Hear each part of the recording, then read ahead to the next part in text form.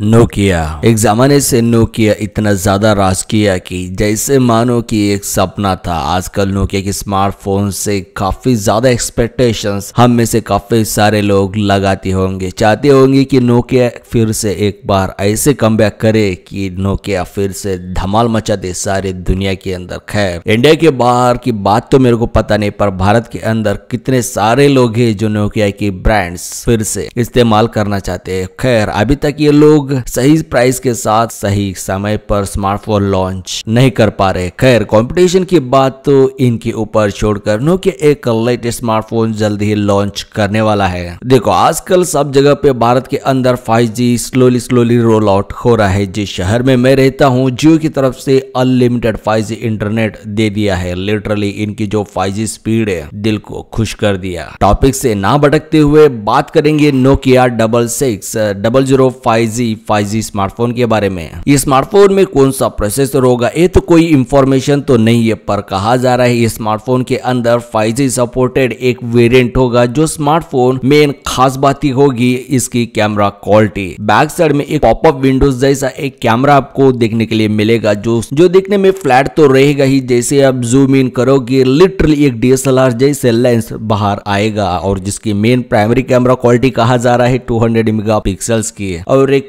Lower variant के अंदर कहा जा रहा है 108 मेगापिक्सल्स की और शुरुआती वेरिएंट में 48 मेगापिक्सल्स की हो सकती है। पर अगर ट्रोली ऐसी एक डिज़ाइन के साथ नोकिया एक 5G स्मार्टफ़ोन लॉन्च करेगा तो सबसे पहले परचेस करने वालों में से मैं भी एक शायद हो सकता हूँ। पर हाँ प्राइस भी काफ़ी ज़्यादा मैटर रहता है। यूजली आप स्क्रीन के ऊपर देख पा रहे होंगे, काफ़ी बड़ा एक स्क्रीन होने वाला है। यानी कि मैं एक बात क्लियर कर दू, फुल्ली एक स्क्रीन टच वाला फ़ोन होने वाला है। लगभग 5.5 इंच इंचेस की स्क्रीन हो सकती है। वैल्यूम ऑफ़ एलिम डॉन रॉकर्स और 3.5 पॉइंट mm ऑडियो जैक और सबसे अच्छी बात यूएसबी टाइप सी पोर्ट भी दिया गया है। बैटरी परफॉर्मेंस की ओर देखोगे तो काफ़ी अच्छी बैटरी परफॉर्मेंस ये स्मार्टफ़ोन में आप एक्सपेक्ट कर सकती हो, क्योंकि काफ़ी बल्कि सा ये स्मार्टफ़ोन आपको देखने में लगेगा, उतना ही काफ़ी दिन चलने वाला स्मार्टफ़ोन भी ये होगा। लगातार three two four days non stop battery performance battery performance देने के लिए लगभग सिक्स थाउज़ेंड एम की बैटरी परफॉर्मेंस स्मार्टफ़ोन में मिलने वाली है